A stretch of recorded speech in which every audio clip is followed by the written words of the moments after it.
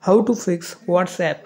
Tap recent SMS or call me first problem. Hello friends, आज की इस video में हम आपको बताएँगे, अगर आप व्हाट्सएप चलाते हैं तो उसमें आपको ये दिक्कत आती है कि उसमें आपको बताया जाता है कि tap recent SMS or call me first का एक ऑप्शन आपके सामने आता है।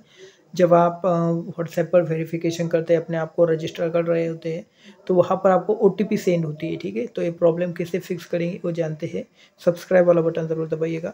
तो अगर आपको एक प्रॉब्लम आती है तो वो क्या हुआ आती है कि आप जो है रिसेंट ओ करते हैं। मतलब आप एक बार ओटीपी मंगवाते हैं किसी कारणवश आप तक वो ओटीपी नहीं आती या फिर आप डालते नहीं हैं उस ओ को यहाँ पर देन आप बार बार रिसेंट ओटीपी करते हैं। आपके पास ओटीपी आती नहीं है तो उस केस में आपको व्हाट्सएप मिलता है कि अगर आपके पास ओटीपी नहीं आ रही तो आप कॉल वाला ऑप्शन यूज़ कीजिए जिससे कि ऑटोमेटिक वेरिफिकेशन हो जाए। अगर आप यहाँ से कॉल वाला बटन चूज़ करते हैं कॉल में वाला, यहाँ पर देखिए कॉल में लिखा है।